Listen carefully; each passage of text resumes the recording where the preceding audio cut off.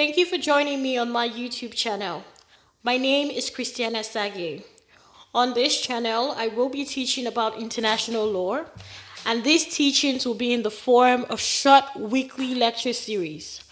Over time, I will be surfacing varied concepts of international law. When and where applicable, these concepts will be analyzed and brought to you as it relates to current trends in international law as they arise. At the end of this lecture, you will find the transcript of the lecture in the link below. Also, for current trend and analysis in international law, you can subscribe to my blog. All the details you will find in the comment section below. For the 15th lecture in this lecture series, we will be exploring the concept of humanitarian intervention. To do this, we'll be addressing three subheadings. One, the meaning of humanitarian intervention. Two, paradoxes of humanitarian intervention. And we will also be exploring examples of humanitarian intervention. So, first off, what is humanitarian intervention?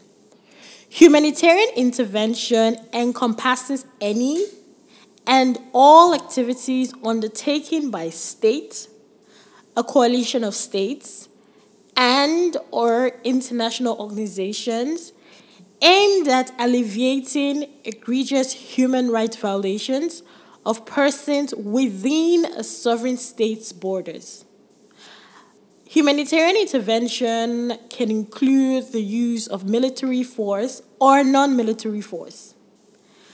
Um, but whichever the case, because humanitarian intervention impedes a state's territorial sovereignty, it has to meet certain thresholds whenever it is set to occur. Thus, the legality of any humanitarian intervention has to meet the following conditions. One, the existence of convincing evidence, generally accepted by the international community as a whole, of extreme humanitarian distress on a large scale, requiring immediate and urgent relief. Two, it must be objectively clear that there is no practicable alternative to the use of force if lives are to be saved. And thirdly, that the proposed use of force must be necessary and proportionate to the aim of relief of humanitarian need and must be strictly limited in time and scope to this aim. That is, the minimum necessary to achieve the end and for no other purpose. So you can find these conditions enumerated in the policy paper by the UK government stating its legal position on the chemical weapon used by the Syrian regime. I have created a hyperlink to this document in the transcript. It is pertinent to highlight one fundamental argument linked with the issue of humanitarian intervention, and that is whether such an intervention can occur or should occur outside the ambit of uh, the Security Council's authorization. That is, generally through Security Council resolutions. Jurisprudence on this question highlights several arguments for and against. Now, at the moment, that is beyond the scope of this lecture. We will take a deeper dive into this question in a subsequent video.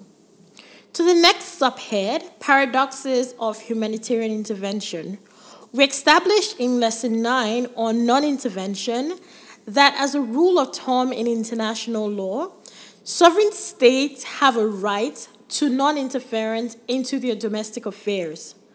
But one thing is sure humanitarian intervention entails interference in the internal affairs of a sovereign state. So, how do we reconcile these seemingly conflicting rules of international law? Also, when we look at Article 2, Sub 4 of the UN Charter, which states that all members shall refrain in their international relations from the threat or use of force against the territorial integrity or political independence of any state or in any other manner inconsistent with the purposes of the United Nations. Another paradox surfaces. As humanitarian intervention is often carried out through the use of force. Again, how can this be reconciled within the framework of humanitarian intervention and international law generally?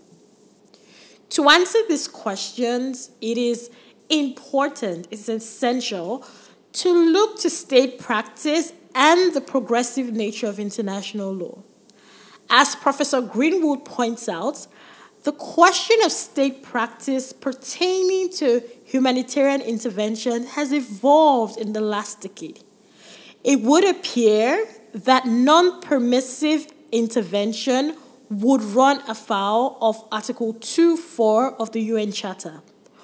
On the contrary, there is an indication that customary international law supports limited exception to the prohibition on the use of force in situations of extreme humanitarian crisis or to avert humanitarian catastrophe. So, humanitarian intervention by state, a coalition of states, or international organization or organizations would undoubtedly interfere in the domestic affairs of a sovereign state, and in many cases may even involve the use of force. What distinguishes such intervention and makes it permissive is its humanitarian objectives. So, to the next subhead examples of humanitarian intervention. Humanitarian interventions by international organizations include the United Nations Assistance Mission to Rwanda, UNAMI, in 1994, the United Nations Transitional Administration in East Timor, UNTAET, in 1999. Humanitarian interventions by coalition of states include NATO's intervention in Kosovo in 1999, the military intervention in Libya under Security Council Resolution 1973 in 2011, and uh, examples of humanitarian intervention by states include Vietnam's intervention in Cambodia in 1979, the US intervention in Panama in 1989, and India's intervention in East Pakistan, now known as Bangladesh. So I have gone ahead in the transcript to include a link to the Security Council Resolution 1973 and the homepage of UNAMI and UNTAET. That way you can take a look and see specifically what these interventions entailed. To recap, we have answered three questions aimed at providing a broad understanding of the concept of humanitarian intervention and as a way of bringing our lesson today to a conclusion, it is essential to note that the legality, scope, means, and legitimacy of humanitarian intervention continue to be a fiercely debated issue in international law. Remember to engage on here in the comment section on Facebook and Twitter and let us know the content you like to see. So I want to say thank you so very much for joining in. And remember to like, share, subscribe, leave your comments in the comment section below, and hit the notification bell so that you're notified when there's a new video. Thank you.